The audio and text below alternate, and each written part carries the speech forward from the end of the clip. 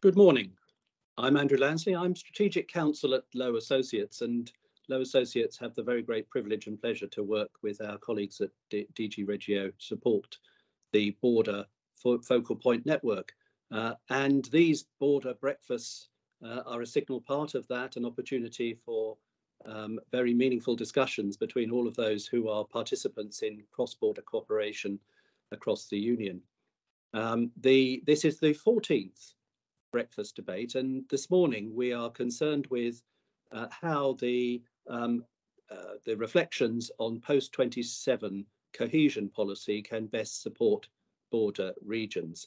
I, I know in previous discussions we've had um, very uh, powerful examples of how cross-border cooperation can be, as it were, a laboratory for European integration, very significant positive opportunities.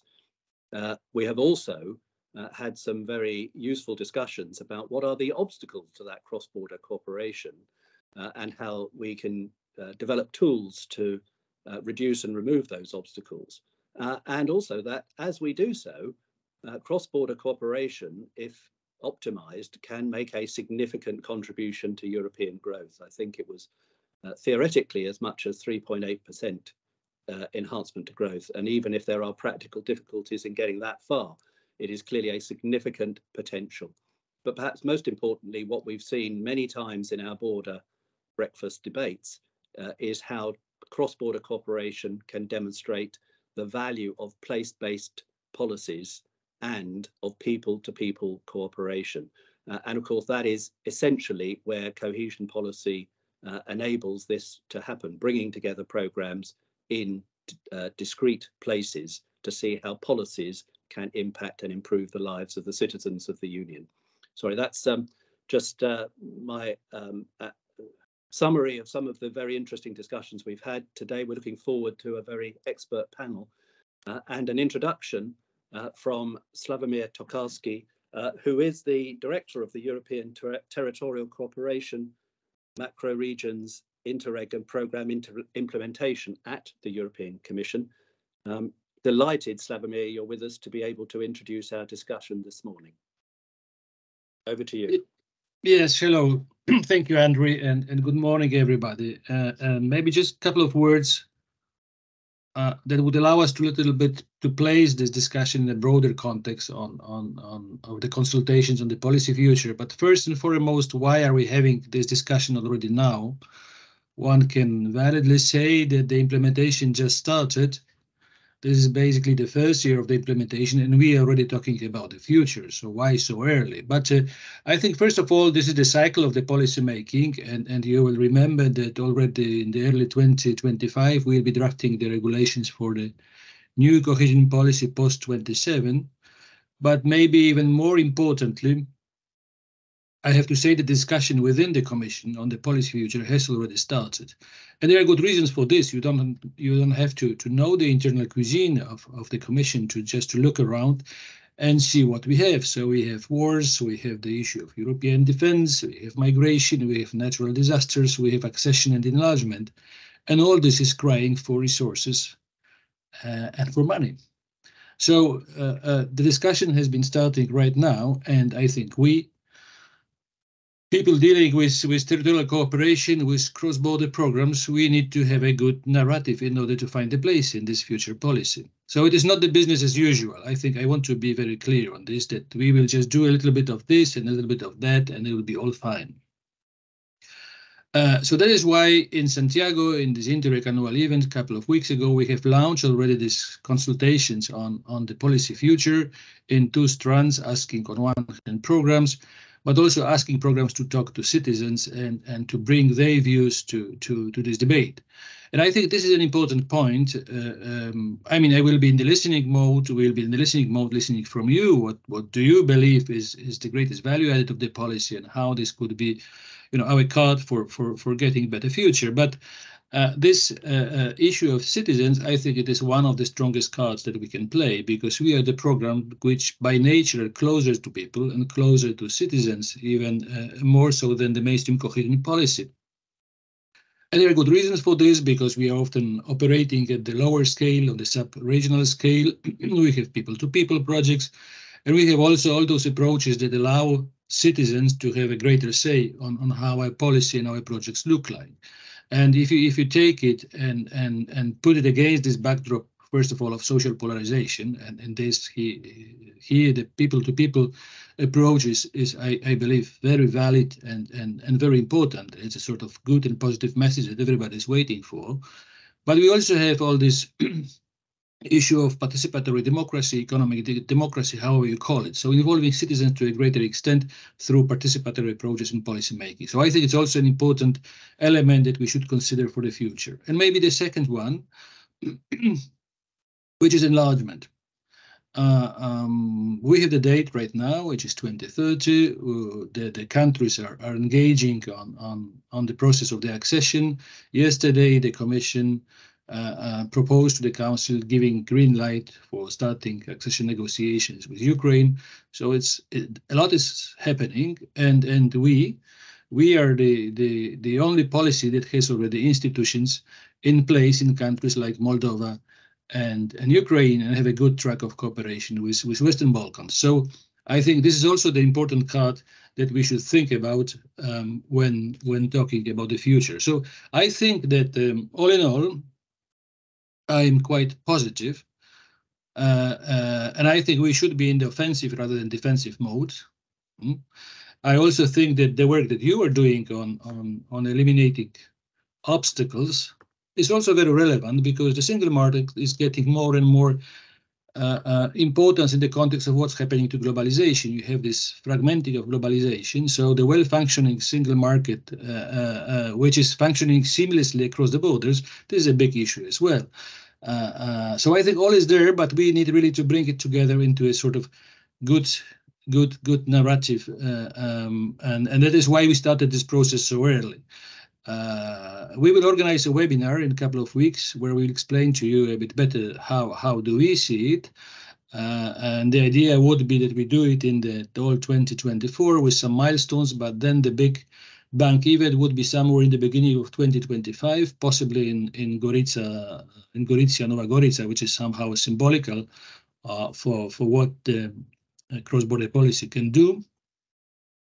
Uh, uh, mm, and we are starting right now. So this is just not not a one-off event, but this is just the beginning of something bigger. And I, I, I would like to bring this also this this sense of of of us, all of us belonging to to to really one community and working hand in hand. It's not that we will impose the views. We really want to listen to you, and and really we want that we you know crash our heads together and and come up with something good and sensible. So that is what I wanted to say. Thank you very much. Thank you very much indeed. Uh, and that's a very helpful uh, introduction, sets the context excellently for, for our discussions. This is a participatory event. Uh, we would like our uh, participants all to contribute in various ways. Uh, you'll be aware, those who've joined us before, that uh, the chat function is um, is a mechanism by which, please, if you have questions that you would like to put to the panel, please put them up on the chat function. Uh, and also, I think both our panelists and other participants from time to time are using that to give people access to the links and references uh, for reports and other ways in which people can follow up uh, on the uh, discussion. Uh, but in addition, as part of the participation, and before we reach the panel, uh, I should launch the, the first of our two polls. We want to get a response directly from all of our participants about how they uh, see the relationship between post-27 cohesion policy and our border regions. Uh, so poll one, um, if my colleagues would be kind enough to show uh, all of our participants poll one. The question we're asking, please, is what should the main priorities be in the post-27 cohesion policy to better support border regions? Now, there are several options which I will quickly read through. Enhancing digital connectivity in border areas, boosting the green transition in cross-border territories, increasing investment in cross-border education programs, strengthening cross-border healthcare cooperation, expanding cross-border trade, business and labour opportunities, establishing more cross-border transport connections, and developing sustainable cross-border governance. So please look at that, um, you're not required to identify only one, identify what you regard as the main priorities. And we will, I will report the results of that first poll and launch the second poll uh, after we've had an opportunity to commence our panel by listening to the first of our panelists, which is uh, Professor uh, Dr. Eduardo Medeiros, uh, whom will be very well known to, um, I think, all of those who are involved in cross-border cooperation across Europe. Uh, uh, Eduardo, you're a, uh, a, professor of geography and a research fellow. You've been a widespread contributor to many um, policy discussions across the European Union, including to the reflection group on post-27 cohesion policy. Eduardo, would you um, tell us something about what, in your view, uh, might be the priorities in the post-cohesion, post-27 cohesion policy for border regions? Uh, thank you, Andrew. Um, yes, um, for a long time I've been uh, supporting my vision for uh, cross-border cooperation based on uh, what I think is the concept of cross-border cooperation, which is, in my opinion, supported by two main goals. The first of all, number one, is to reduce um, uh, or mitigate the cross-border barriers. Um, and uh, the second one is to promote, uh, in simple terms, uh, territorial development. And territorial development embraces uh, several dimensions, like you know, uh, envir environmental sustainability, territorial governance, spatial planning, economic competitiveness, social inclusion. So it's it's very broad. But um, when it comes to um, the focus on mitigating or reducing border barriers, because I don't believe in eliminating border barriers, um, uh, they should be focused, I think, from all the studies uh, that I've seen and I've participated and I've uh, worked together with the Commission, there is three main, three main border barriers that still persist across uh, European Union uh, cross-border areas. Uh, the first one is related to legal and administrative barriers. And here, uh, I always suggest that uh, um, the Commission should uh, follow an ongoing initiative, which is called EUB Solutions, that is a concrete solution to find, uh, to discover, and to propose concrete solutions to reduce as much as possible persisting legal and border barriers of all sorts. The second barrier is uh, cultural barrier, specifically language. Language is, continues to be um, a very important um, uh, barrier all across Europe, and I've experienced this uh, all the time because I travel a lot. And uh, what I propose here is that there is a support to use uh, English as a secondary uh, mandatory language in all public services in, in the EU, especially in transport, but in other, because this will facilitate the lives of many uh, European citizens. The third one, and you can see here in the polls also that many people consider, and this is actually um, um, a barrier that affects a lot directly and indirectly the lives of EU citizens, is related to uh, cross-border accessibilities, uh, and specifically the lack or reduced number of available cross-border transports. You can see there's around 26%, 18% uh, in the polls already focus on this uh, important barrier. And here uh, there is a lot to be done. The Commission has worked a lot uh, on, on studies. I, I remember in 2019, I was there in the Commission an event organized by, by Ricardo Ferreira. Um, and we produced a paper on this. Um, so, um, but there is a need to uh, support um, more investment in the Interreg through the Interreg in in in uh, um, pr proposing uh, concrete uh, projects that um, help to reduce this cross-border transport barrier all across EU regions. So um, ideally, there should be, uh, I say, a, a, one Europe, one system. I, I know that this is uh, still very far away um, to be to being achieved. Um, so I also propose that a European transnational um, mechanism of all sorts, not not a European cross-border mechanism, because a European cross-border mechanism will create an additional barrier uh, border uh, after the border region. So uh, I think a transnational mechanism will be uh, the solution to actually in this case, eliminate borders. It's the only solution to eliminate borders. But this is, is, is far, uh, uh, basically too complex. And the last thing I think is the support, not just to cross-border uh, cooperation as we, we are been implementing it in Europe, but um, start to plan ahead. I'm a geographer, so I'm, I'm focused on spatial planning, which is anticipating problems. And I also supported the idea of uh, promoting that these Interact projects also promote uh, bottom-up cross-border planning, you know, uh, involving the participatory approaches from citizens, of course, to increase the financial capacity, a more strategic vision uh, in the long term, and also uh, um, the better uh, integration between existing cross-border plans from national, local, and region that already exist. So these are my takeaways uh, for uh, for for the, the, future of cross-border cooperation. Eduardo, thank you very much. Um, and I, I, I, hope in our discussions we will similarly from everybody have uh, very pointed recommendations that can be taken forward and uh, offered to the reflections group about cohesion policy. Thank you for that.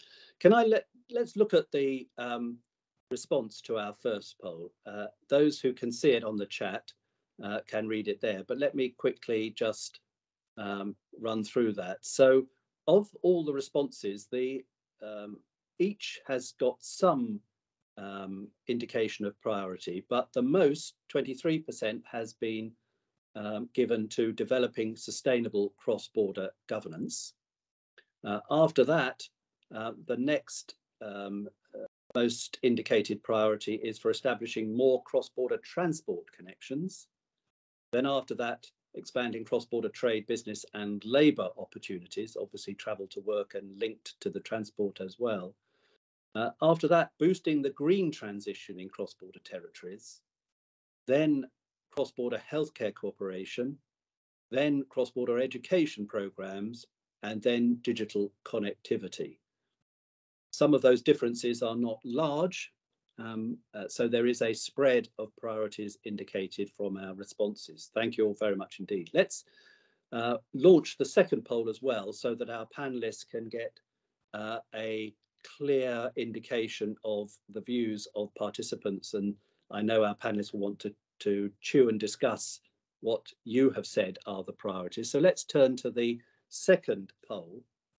Uh, and the second poll is how can cohesion policy post 27 better support border regions? And here I think it, you may uh, indicate more than one answer, um, but uh, as we've seen already in the first poll, it's quite useful to have a sense of the relative uh, ranking of priority. We have five options that people can choose. Firstly, promote cross-border cooperation in mainstream programs. Secondly, create an EU legal tool to resolve border obstacles. C, thirdly, substantially increase funding for European territorial cooperation. Fourthly, D, provide more cooperative tools, structures and options for cross-border regions. And fifthly, E, further enhance bottom-up policy making in cross-border regions. So these are options about how it, the policy can support border regions focused on the structural issues about cohesion policy. Five options there. You can choose more than one. Um, thank you very much. We'll report that in a short while. But uh, for the moment, delighted that following the uh, Eduardo, we have a, another expert in spatial planning, that is uh, Kitti um, Dubniczki. Uh, Kitti is a, a chief planner at CESCI, which is the Central European Service for Cross-Border Initiatives, um, and has been working on Interreg initiatives in Hungary, Slovakia, Romania, and Ukraine. Kitti, you have very practical experience of how this territorial cooperation works.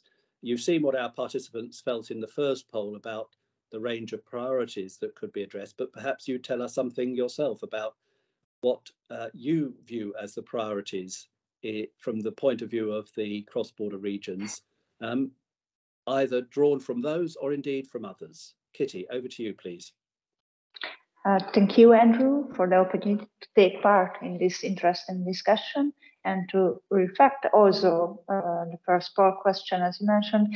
In my opinion, as a first step, we should accept that the cohesion of the border regions need, uh, needs a different approach than the mainstream Europe-wide notion of cohesion. We should avoid using the same terminology with the cross-border prefixes as we do at the mainstream cohesion policy programs. And on, on the contrary, we need to move better from the sectoral approach to the territorial one when we are speaking about uh, border regions. Uh, and I think our main task is to answer the following question. How can we strengthen the cohesion and integration of the border regions? As Professor Medeiros told, we need to eliminate barriers and facilitate uh, territorial development across the borders. And uh, for this purpose, uh, we need a complex toolbox tailored to the border regions and this toolbox uh, should provide solutions for different fields like uh, integrated development of the border regions, um, from planning to the monitoring of the implementation. But also we need to identify and uh, mitigate the cross-border obstacles which hamper the daily life uh, of cross-border citizens. And uh, we also strengthen the interaction between the border citizens. And at last, we need also support the effective management of the cross-border governance structures. And if uh, have uh, more time that uh, make uh, a look behind uh, each point for a moment. Uh, so first of all, uh, when we are talking uh, about the cross-border developments, I can say that uh, our fundamental approach at CESCI is that the cross-border territories should be developed in an integrated way based on the needs and the opportunities of the given border regions. And yes, as you mentioned, in the last years, we have elaborated and evaluated several cross-border Interreg programs and drafted cross-border strategies, mainly for EGTCs. And based on these experiences, uh, I think the big, biggest challenge is to find comparable and harmonized data about cross-border flows uh, because without reliable and evidence-based territorial data, the plans, what we needed, cannot be relevant and uh, the implementation cannot be monitored. Uh, for example, uh, Interreg programs uh, from the previous period uh, had to be evaluated on the basis of the result indicators which are not able to show the impact of the program because the selected indicators are influenced by higher level, mainly by global trends. But I know that uh, the designers uh, of these programs didn't have other options. Uh, so to overcome this first issue, uh, the collection and the observation of cross-border territorial data uh, should be an intervention, including in each future cross-border program after that, uh, regarding the cross-border obstacles, uh, we can see that the more interaction and cooperation we have in a border region, the more problems arise. Uh, at CESCI, we have been working with uh, our European partners like MOT or EBR for years to overcome uh, this kind of obstacles. Uh, I think most of you are familiar with the B Solutions initiative, as and I saw uh, Cynthia also, also mentioned in the chat. Uh, this uh, initiative is supported by the European Commission and managed by the EBR. And I think uh, you also have heard about the proposal of the European cross-border me mechanism from uh, Mr. Medeiros as well. Uh, and we discussed uh, it in more detail at the previous uh, breakfast debate. And I think all of these initiatives are very important, and this should be further enhanced through the future cohesion policy package. Regarding my third uh, field, uh, supporting cross-border people-to-people interaction is uh, another important aspect which has uh, successfully been informed through the current regulations. And um, this is a trend to continue in the future. And my last point was the cross-border governance structures. these also play an important role in performing various cross-border tasks. And um, based on our experiences, these uh, structures and the border regions, especially in Central Europe, suffer from a lack of human capacity uh, to manage uh, this one. And I think in this field, we need uh, more uh, supporting to capacity building for these structures. So to conclude my answer, the development of the border regions needs a different approach than the current mainstream cohesion policy programs, and we need a complex cross-border toolbox enabling the development of border regions in an appropriate, integrated way. Kitti, thank you very much. That was a really excellent contribution. Thank you very really thought-provoking as well. So thank you very much indeed for, for that contribution. Um, as you're a panelist, we, we may well come back to you with a with a question in a minute. But let me just, um, before I turn to Simona, let me um, just give us the, uh, you can see it hopefully in the chat, the response to the second poll. So there, um, there are not large differences between many of the um, responses. The, the, the largest uh, number of responses um, suggesting that um, it, the policy could support regions is to further enhance bottom-up policy making in cross-border regions, which I think is reflecting in a sense something very much that you were saying, Kitti, about how the governance of cohesion policy can work. Um, but the others all get very similar amounts. So um, uh, similar number of responses, whether it's the EU legal tool to resolve border obstacles, which you were talking about and Eduardo was, uh, cross-border cooperation in mainstream programs, funding for territorial cooperation, and cooperative tools and structures for cross-border regions all get a similar number of priorities. I wonder if I might um, uh, turn to you, uh, Simona. Um, Simona Pohlova is Deputy Head of Unit for Interreg, Cross-Border Cooperation and Internal Borders uh, in the European Commission. Delighted you're with us on the panel. Don't feel obliged to comment in detail on the second poll, Simona, but perhaps tell us something about uh, further about how cross-border cooperation can be supported using cohesion policy. What are the mechanisms for doing that? Thank you, Andrew, and good morning. Good morning from my side to everybody. Um, well, indeed, um, I think that it is very interesting for us uh, to see the results coming out from the poll, even though we see that that they are indeed very balanced, and and this shows that that all of these uh, replies are are nearly equally important. Uh, what what should the the priorities be? And uh, just to say that it is very important for us from the Commission to see what people who are connected to the border regions and issues think now when then when the the debate about the future of Interreg and cooperation has started. Um, as it was said also by our director Slawomir at the beginning, uh, we held this uh, Interreg annual event in Santiago de Compostela two weeks ago, where indeed we had the excellent opportunity to discuss for the first time really what role cooperation should have in the future with our programs and also with other guests. And we also had our commissioner, Elisa Ferreira, there. And uh, there was a debate on the future of Interreg also with Karl Heinz Lambertz, the president of the AEBR. And uh, just to reinforce also what, what Slawomir already said, that it was repeated many times during the event that Europe cannot, cannot simply function without cooperation now. The challenges that were mentioned, such as fires or floods that are related either to climate change or nature protection, just do not recognize borders. And we also see that many border regions in Europe are still suffering from their peripheral location. They are less connected, they have worse public services. We have heard that as well.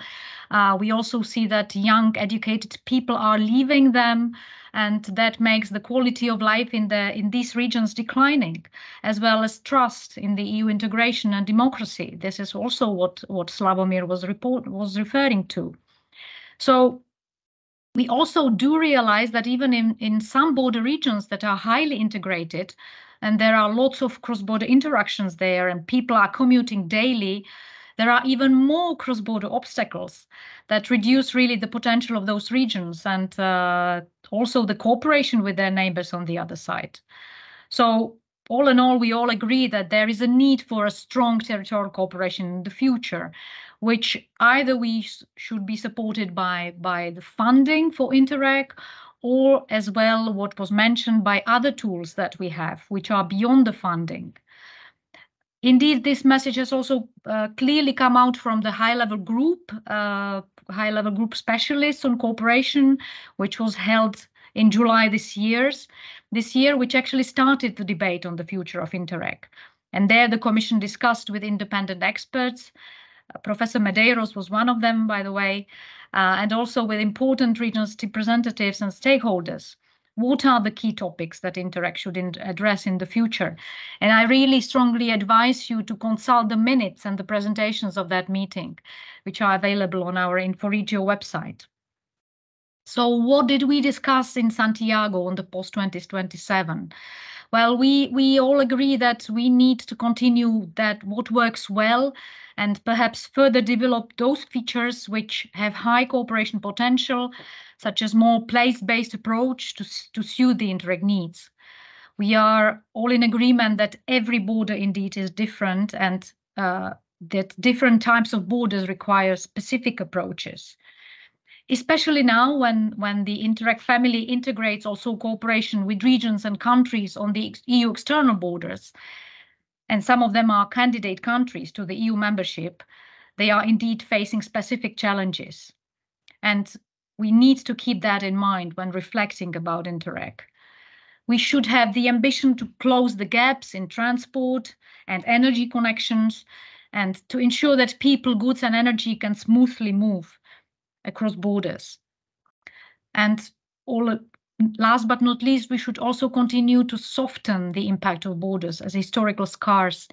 And it was already said to promote people-to-people -people cooperation. Um, Slawomir has already referred to the process of consultation that we launched in Santiago, so I will not dwell on it too uh, too long time. Uh, but indeed, uh, it is important for us to hear uh, from you, from the citizens, and from the key stakeholders what uh, you think should be uh, our priorities for the future. We will also uh, consult our Interreg programs on the future of policy uh, whom we actually asked to organize such public consultations. And um, on the on the future, uh, also for for uh, the support beyond funding, as it was already said, the initiatives such as B Solutions, uh, they are uh, very powerful tools to help regions to tackle uh, administrative and legal barriers. And uh, we will do our utmost to keep it. Uh, we are also very happy to see that uh, our Interreg specific objective one, which is aimed to improve cross-border governance, has met with such a huge success among the programs. Uh, more than 80 of them selected it. And um, we also, um, as was already tackled uh, at the Commission, we are actively considering to table an amended proposal for the, uh, the cross-border mechanism um, that was discussed with you the last time. Um, we are convinced that such a piece of legislation would be a game changer to solve border obstacles. And maybe in this respect, let me remind you that uh, the Commission launched recently a call for evidence uh, which uh, which is a way uh, for you to express uh, any sort of opinion uh, if you want to consider which which would um, which would inform the legislative process uh, if this uh, proposal uh, is about to be uh, to be put on the table. Thank you very much. Simona, thank you very much indeed. Uh, let's complete our panel before we get into uh, a more open discussion with a, a further opportunity to hear from an expert. That, that is from Sari. Um, Sari Rautio is from Finland. Uh, you're very welcome. Uh, thank you very much for joining us uh, this morning. Um, your expertise, of course, is uh, in that you are part of the European Committee of the Regions uh, and a representative for Finland in the Commission for Territorial Cohesion Policy and EU Budget. So right in the midst of the thinking about these issues. Sari, would you tell us something about how this is viewed from the literally from the uh, ground up, as it were? How are people in border regions thinking about how this can work for their benefit? Yes, uh, thank you, Andrew, and uh, hello everyone, and greetings from Finland. And uh, definitely, I must say that I'm really happy to join this uh, very important and interesting uh, breakfast debate.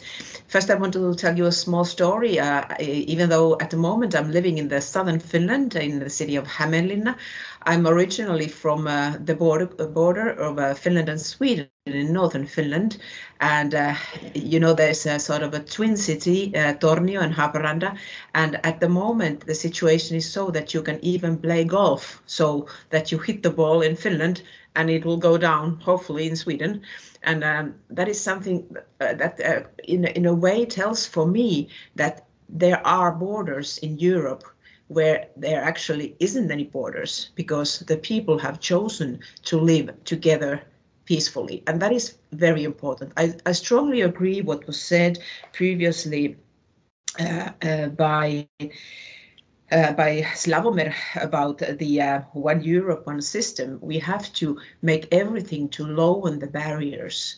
Uh, uh and that's why I, uh, in the first poll, I must say, I must admit that I, I, uh, I answered also to the poll. And we have to make everything as easy as possible for people to uh, work together and live together, uh, to uh, to work, to have uh, hobbies, to share their lives across the border, because that is how we can actually um, uh, make the best out of it. I also agree what Simona uh, said about the people, uh, the uh, the place-based approach and people-based approach, and that is something we've been discussing a lot in this high-level group um, of the future of cohesion policy, where I am um, uh, as an individual member, um, and I must say it's really interesting uh, the discussions we are having there.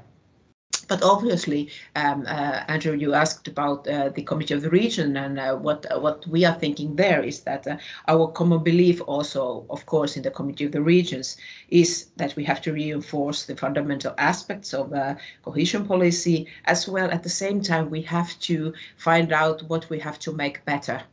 Uh, it's not the uh, the the right way is uh, for uh, to organize the better cohesion policy post uh, 2027 is not to uh, stay purely defensive but we have to show what we can make better. And in this uh, discussion already, we've uh, heard a lot of good examples by Kitti and uh, also Eduardo and, and all the all of the previous speakers already how to mitigate the barriers and make the best out of the whole entire Europe. Obviously, here in Finland, we have um, uh, uh, uh, pr problems at the moment with our um, other neighbor, as we have in all, all over Europe, uh, the other neighbor, uh, Russia.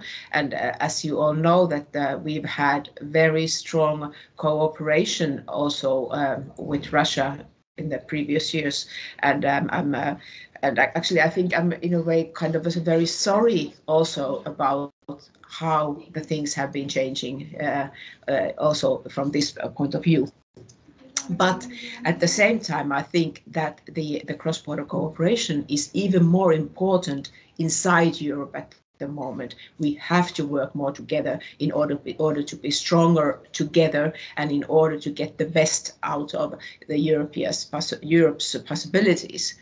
And of course, obviously, as was mentioned already, the, the, the shared values and the shared uh, common understanding and the, the importance of single market, which was uh, uh, raised already in the beginning of this uh, uh, uh breakfast debate by Slawomir, is something we have to understand all the time and and to put enough um, um, uh, importance uh, of, of, this.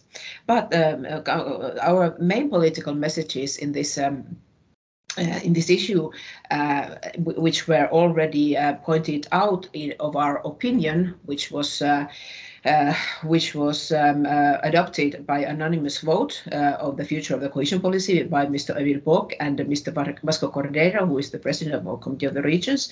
The main political messages are that first, the, we definitely do need a comprehensive reform of cohesion policy in, uh, is needed uh, in order to to address the, the situation of its role and identity, and we need to find the new balance in the need of long-term investments, and then the other hand, um, the capacity of um, the cohesion policy funding to be agile for what, what is happening in uh, in the short-term notice.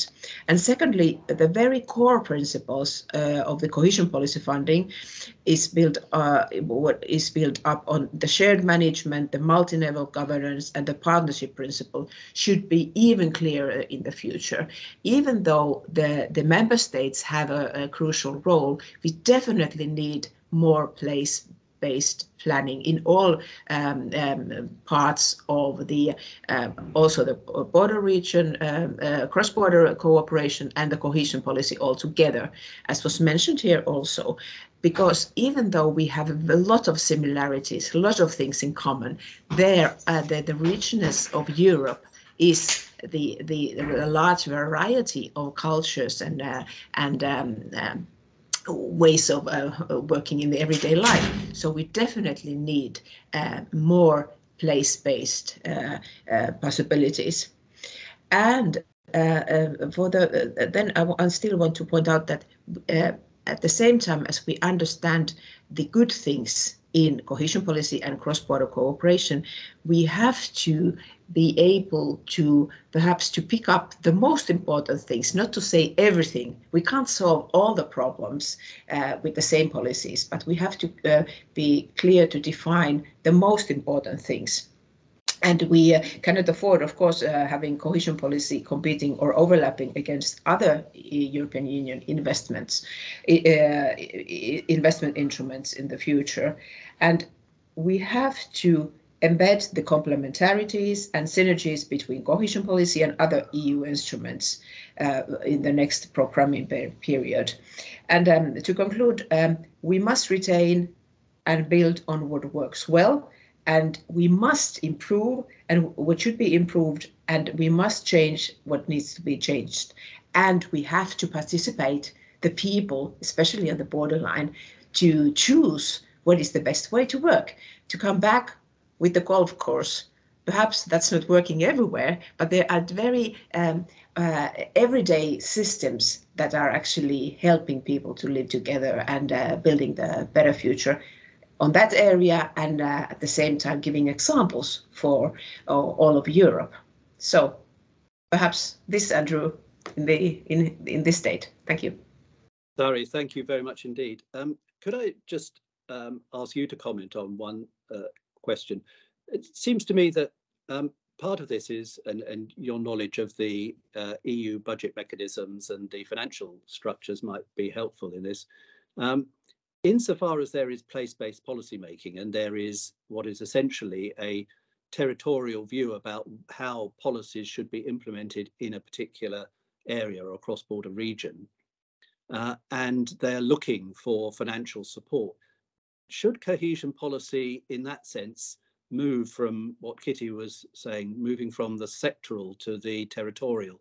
Should should financing be flexible enough to move out of the, the particular programs uh, and empower the solutions that cross-border regions come up with? Yeah, thank you, Andrew. Um, a, a, tricky and a, an important question. From my point of view, we need simplification in all levels because as, as we've seen uh, uh, past a few years with the COVID-19 and uh, and the war, uh, uh, the the situations um, overall are changing so rapidly that we can't decide everything in, in, advance.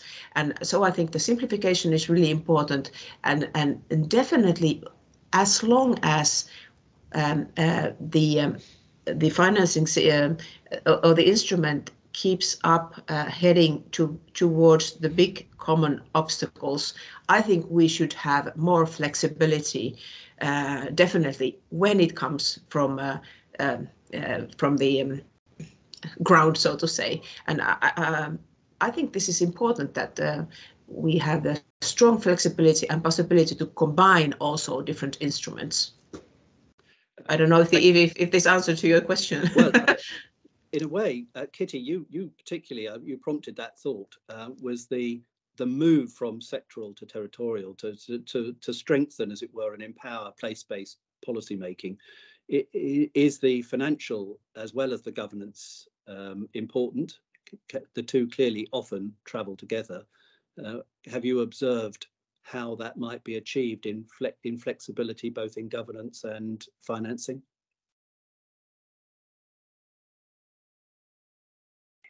Yes, I, I, know that it is an important question. How can we support finance this uh, change? Um, I didn't observe well enough this question. Um, I have to point out that uh, without dedicated financing, it is uh, very hard to ensure the anything of uh, this uh, any of these interventions. Um, I think we have a few years, few months to figure it out. How can we finance uh, such as change?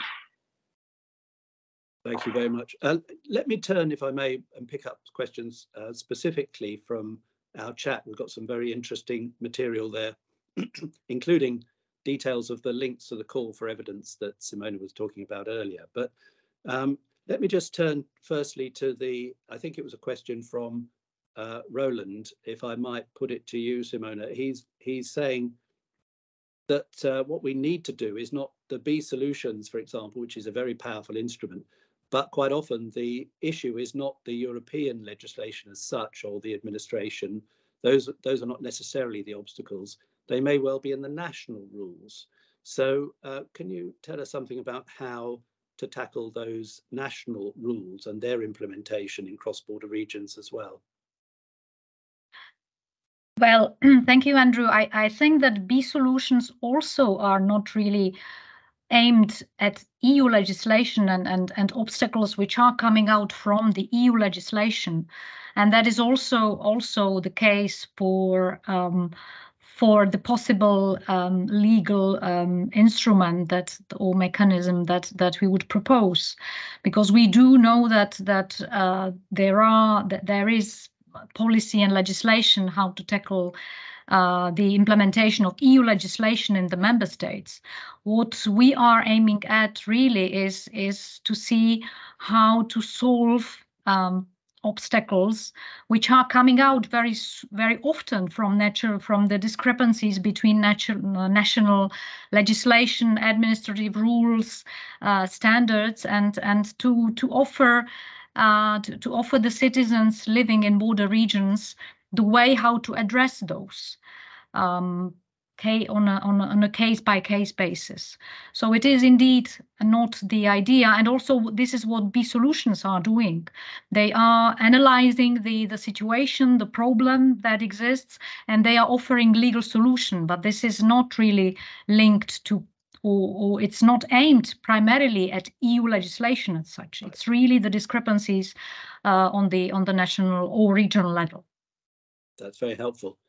I wonder, Eduardo, do you want to come in at this point, tell us something about how we can, how those uh, obstacles, the removal of those obstacles is perhaps being achieved in, in, perhaps we have examples that we can see that would be particularly relevant that people can look at.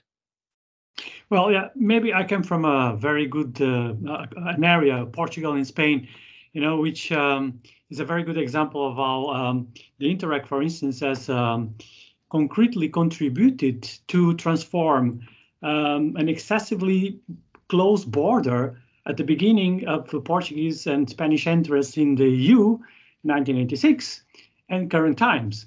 Uh, if I ask everybody here how many, what are the, the, the leading countries in implementing UB solutions, people would probably think, oh, it's Germany, oh, it's Holland. No, it's Portugal and Spain. And this is this is because um, the first three interregs they uh, tackled the physical accessibilities borders, which were huge. And now uh, many people don't know, but the, still the biggest uh, financed Interreg project um, is the Guadiana Bridge, that links Algarve and Andalusia. And uh, it's the iconic kind of the image of Interreg because it's the most financed one. And this provided a completely uh, opened the border there that was completely closed. It's still the only physical uh, accessibility connection uh, linking um, um, uh, Algarve and Andalusia. And all across the, the Portuguese uh, uh, and Spanish border, that was already implemented around seven EGTCs, which is European Groupings of Territorial Cooperation. There is many. Um, I remember when I made my PhD, I, I counted it into, when I finished it in 2010. There was around more than 100 cross-border entities official. Uh, before 1990, there was zero. So uh, this is examples in which this uh, Interreg has contributed uh, effectively to transform a very close border to a very open border, which is uh, very much engaged in, in promoting cross-border cooperations with many cross-border governance entities, with a lot of, uh, um, of, of um, uh, cooperation at all levels of society between companies, between local levels, regional levels. So there's a lot of euro regions. So uh, this is a concrete example in which uh, uh, of the positive impacts of the Interreg in mitigating all sorts of uh, cross-border barriers from governance, from physical accessibilities, from language. There's courses between young students in Spanish that learn Portuguese and uh, vice versa. There's a lot of things going on. It's a very good example, of Portugal and Spain. Uh, many people probably don't know this. and how successful has been the implementation of Interreg between Portugal and Spain. That's excellent, Eduardo. Thank you very much. Uh, Sari, can I turn to you? Uh, it's interesting, in the first poll, if you recall, the um, uh, digital connectivity and uh, the green transition didn't necessarily feature as main priorities. But of course, for, for many in many cross-border regions, the ability to think new thoughts that digitalization offers, or to do things in a much more environmentally um, uh, uh, sustainable way through green transition can actually be a very powerful instrument for changing and removing the obstacles to cross-border cooperation. I wondered if you felt maybe the cohesion policy might in fact use those as uh, serious instruments for that purpose. Yes, Andrew, again, a very good, very good question, and I, I, I, strongly agree on that. And that is what I meant when I said that uh, when we are using these different uh, uh, in instruments, we have to be make sure that the that the big obstacles we want to achieve are are never um, put put aside that that they don't do do no harm to cohesion, do no harm to cross-border cooperation, do no harm to Green Deal, and uh, and of, of of course the good governance is uh, something on that. And I just want to, uh, if it's okay, Andrew, uh, to agree uh, to uh, go on with what Eduardo said about the the the goodness of Interreg even though it is, we have several good examples also in Finland and in Northern Europe why it's working, but we definitely, I think we need also the um, the um, special cross-border mechanism and also money for that, especially pointed on that. And when we think about the digitalization and its possibilities, um, I doubt um, you know, I think we are going to gain more than we actually need the money in. It's going to be um, a very um, positive um, uh, possibility to uh, to to share the digitalization and uh, Green Deal uh, obstacles also on this uh, uh, cross-border cooperation. Thank you. While you have the floor, sorry, I wondered if you wanted to say anything more about the people-to-people connections, because obviously, not just at golf clubs, but clearly between Sweden and Finland, some of those I think we've we've heard in the past. Was it the um, some of your colleagues from the Gulf of Bothnia were telling us about some of the effective cooperations that were taking place.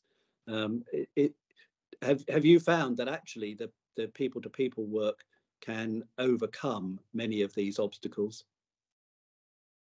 Definitely it's like everywhere in the in the in, in life you know when you work to work together when you live together you can find the way uh, to solve the barriers. And that is something when we talk about the place-based uh, uh, approach actually it is people to people approach. And we definitely as it is in uh, in uh, in northern finland and also we have other uh, borders in, in in europe where the the everyday life you don't even know if you are in which member state Uh, so you can you can actually uh, go to take your uh, child to kindergarten uh, to another uh, country or or uh, have your hobby and of course obviously work and and do your business. So it's uh, I think it's the people what we need. We need more people-centric Europe altogether. That is also good for democracy, and that is also good uh, in how we people believe in uh, the future of Europe. Cohesion and cooperation is in the heart of the European Union, and it will be, and it has to be in the future. And it's the people who do that. Thank Andrew, if I if I if I may come yes. in on this because that's something oh, dear to my yes, heart. Please. So maybe first of all that, that there is this this people-based and place-based, they go hand in hand because there's territory, there are people who are living on this with, with their ideas and with their needs. So we should really look, if you really want the real place-based policy, it cannot be done without people and, and without getting down to the people and listening to them and involving them in the policy making. But then there's also the strong emotional value of, of, of people-to-people projects, which which is I think quite impressive and, and which gets us closer to, to the people's heart. And we should not really neglect this message.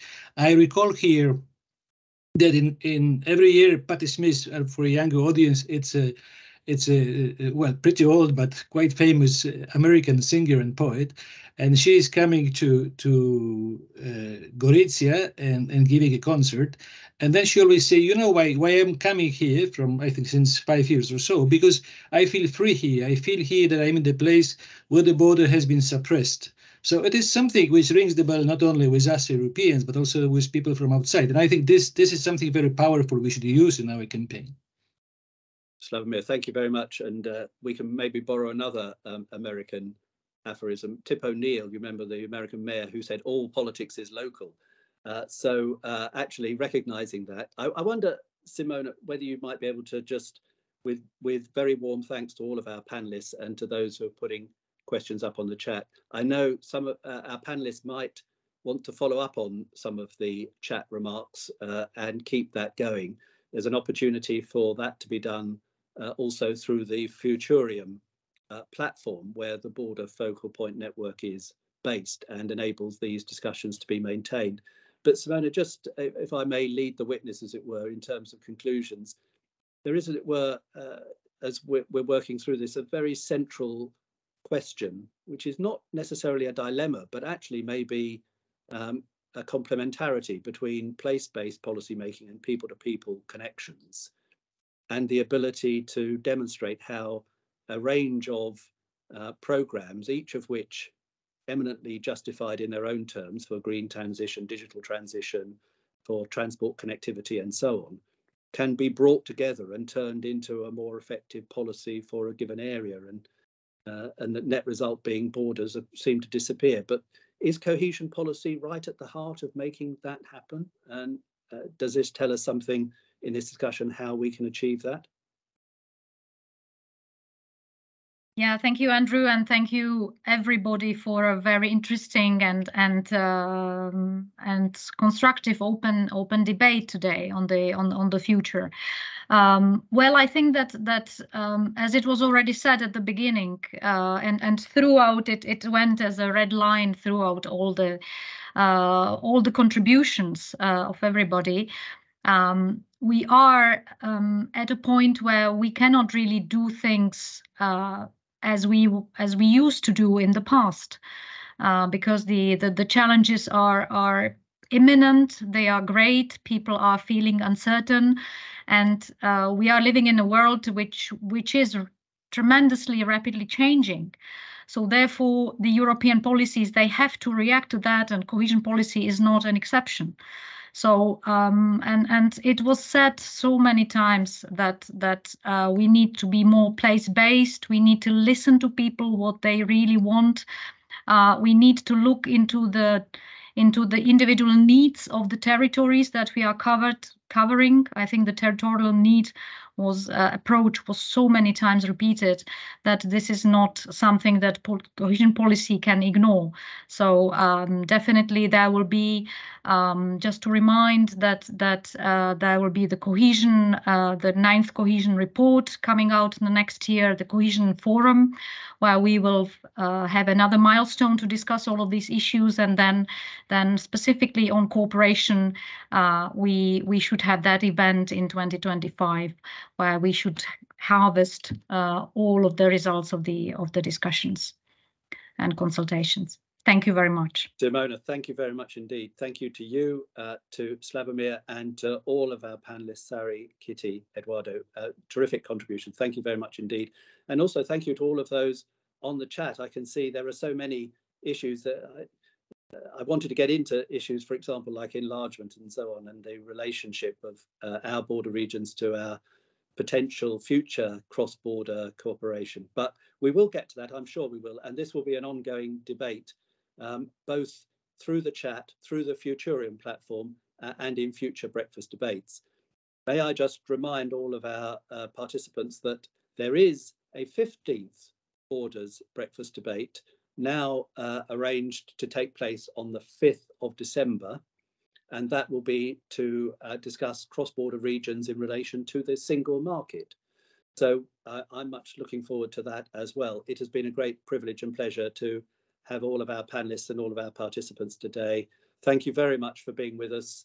Uh, have a very good day and we look forward to seeing you all again and maintaining this very interesting discussion in the future. Thank you very much.